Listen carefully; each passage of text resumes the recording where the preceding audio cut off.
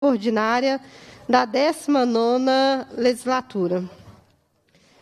Nos termos do regimento interno, dispensa a leitura da ata da reunião anterior, considera aprovada e solicita a sua subscrição. Suspendo os trabalhos por alguns minutos. Essa reunião se destina a apreciar a matéria constante na pauta, receber, discutir e votar proposições da comissão. Passa-se a primeira fase da ordem do dia, que compreende a discussão, votação de pareceres sobre proposições sujeitas à apreciação do plenário. Projeto de lei de número 2129 de 2020, primeiro turno, dispõe sobre a proibição de homenagens por meio de utilização da expressão, expressão, figura, desenho ou qualquer outro sinal relacionado à escravidão ou a pessoas notoriamente participantes do movimento eugenista brasileiro por pessoas físicas e pessoas jurídicas de direito público e privado. autoria da deputada Ana Paula Siqueira, deputada Leninha e eu, deputado André de Jesus, o relator é o deputado Marquim Lemos. Indago ao relator, deputado Marquim Lemos, se está em condições de emitir o seu parecer. Sim, senhor presidente. Com a palavra, deputado Marquim. Parecer para o primeiro turno do projeto de lei 2129-2020. Comissão de Direitos Humanos, Relatório a seguir. De autoria das deputadas Ana Paula Siqueira, Leninha e André de Jesus, o projeto de lei em epígrafe dispõe sobre a proibição de homenagens por meio da utilização de expressão, figura, desenho ou qualquer outro sinal relacionado à escravidão ou às pessoas notoriamente participando do movimento eugenista brasileiro por pessoas físicas e pessoas jurídicas de direito público ou privado foi distribuído às comissões de Constituição e Justiça, de Direitos Humanos e de Administração Pública para receber parecer. A Comissão de Constituição e Justiça concluiu pela juridicidade, constitucionalidade e legalidade da matéria na forma do substitutivo número 1 que apresentou. Cabe agora a essa comissão emitir parecer sobre o método dos termos do artigo 102, parágrafo 5 combinado com o artigo 188 do Regimento Interno. Conclusão. Em face do exposto, opinamos pela aprovação do projeto de lei 2129-2020 no primeiro turno, na forma do substitutivo número 2, a seguir apresentado, que acompanha este parecer.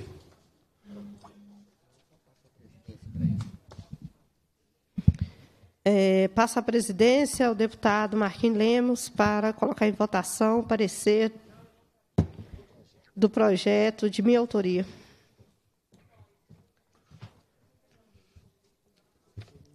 Em votação, Não, projeto de é lei 2100. Em discussão, porque eu quero até discutir. A minha gerente tá? Está pedindo que o senhor leia o substitutivo por ele ser uma novidade na tramitação do processo. Agora, então, vou ler. Tá.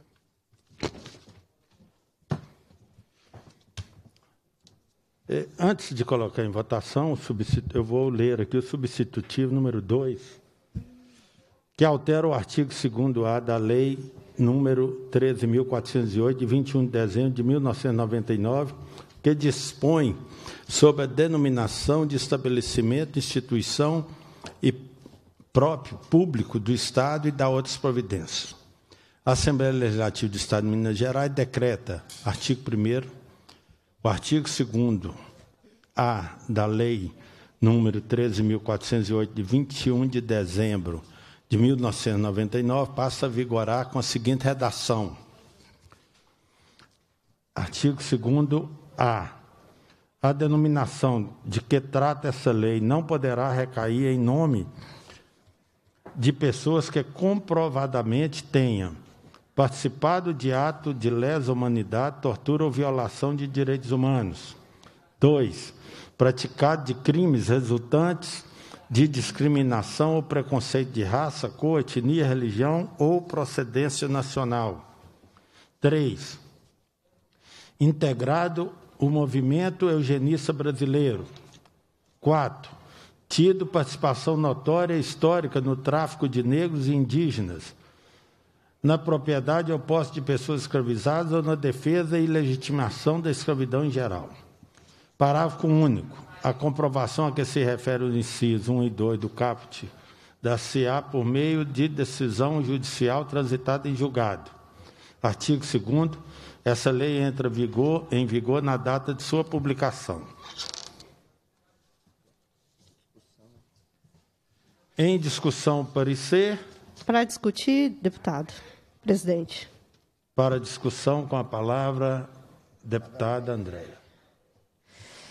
Eu pedi para discutir, eu quero reforçar o grande objetivo da gente estar hoje discutindo aqui nessa casa é como não só proibir as homenagens a pessoas que, na verdade, na história, marcaram a história com ataque aos povos indígenas, com a escravização do povo negro, mas é extremamente importante que as leis aprovadas nessa casa, elas também enfrentem algo que é muito importante, que é o racismo estrutural. Presente no nosso cotidiano, na nossa vida, nós precisamos reverter isso com ações positivas. Mesmo que a lei comece dizendo é proibido homenagem, nós queremos sim homenagear o nosso povo, a história do povo negro não pode continuar sendo contada apenas por aqueles que nos venceram, que nos encarceraram, que colocaram a gente na senzala, que enriqueceram e hoje têm vários privilégios em nome do nosso esforço, nosso trabalho. Então, também para romper com o estigma de que somos é, herdeiros e, e a nossa herança é escravocrata, nós queremos homenagear o povo que trouxe a melhor tecnologia da África, que é a agroecologia, que é o cuidado, que é a espiritualidade, que é o saber ancestral da mineração, da metalurgia. Então, todo o saber de ofício que o Brasil hoje tem é uma herança da diáspora africana e nós precisamos homenagear esses. Por isso que é importante também reverter é, a, a, a, leitura e a discussão sobre a história, para que a gente traga o nosso povo, o povo negro, o povo que constrói a história cotidiana no Estado de Minas Gerais, para reconhecer o papel deles nessa história. E o poder público tem o dever não apenas de combater práticas discriminatórias, preconceituosas, mas também promover uma releitura dessa história. Então, uma lei que proíba, ela vai de encontro ao momento histórico que nós estamos vivendo enquanto em São Paulo houve uma manifestação no sentido de abrir o debate sobre o papel de Borba Gato na história desse país. O papel dos bandeirantes na exploração e na morte de vários indígenas para retomar, para tomar sua terra.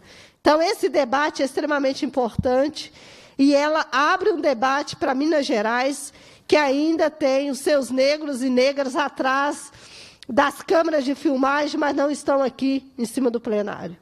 Que estão na limpeza dessa casa, mas não são lembrados. Então, é muito importante que a voz de uma mulher negra traga o debate sobre o papel da história apagada dos negros para que a gente seja valorizado. Para ter menos bandeirantes nas nossas avenidas, deputado Marquinho, e mais militantes importantes na luta pela independência e soberania desse país. Obrigada, deputado. Encerra-se a discussão. Em votação, parecer. Como vota a deputada Leninha? Boa tarde, presidente. Eu voto favorável ao parecer. Muito obrigada. Como vota a deputada Andréia? Voto com parecer, presidente. Esse deputado Marquinhos Lemos também vota favorável ao parecer. Está aprovado o parecer. Devolvo a presidência à deputada Andréia. Passa-se a terceira fase da ordem do dia, que compreende o recebimento, a discussão e votação de proposições da comissão. Indago aos parlamentares e às parlamentares presentes se há alguma matéria a ser apresentada nessa fase.